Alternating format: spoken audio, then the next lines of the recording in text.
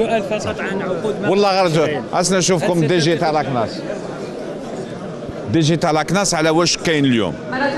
دي آي بي ما نهضروش على دي آي بي. هي إجابة وزير العمل عن موضوع شكل لسنوات عدة أرقا لعمال عقود ما قبل التشغيل. قرابة المليون وأربعمائة ألف موظف في إطار هذه العقود. رقم رهيب يطرح العديد من التساؤلات.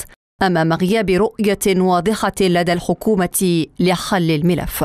الحل يعني في انتظار ذلك يجب التجند هما كشباب جامعي وعبر الفئات في جمعيات منظمة وفي وإن صح التعبير في نقابات منظمة وندعوهم يعني من المنبر هذا انه يتقدموا لوزارة الداخلية ولوزارة العمل باش ياخذوا الاعتمادات تاعهم ويديروا جمعيات عامة ويطالبوا بحقوقهم لأنه نحن لا نتكلم على عشرة من الناس ولا مئة شخص.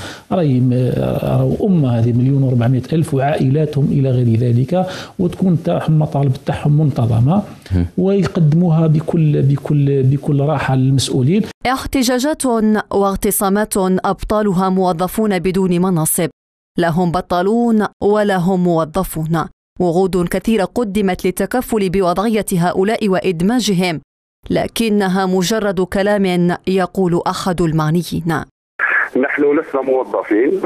يعني ليس لدينا حقوق الموظفين بالمعنى الأصح ولسنا بطالين. لحد الساعة يا سيدي الفاضل لم نتلقى أي رد من أي مسؤول.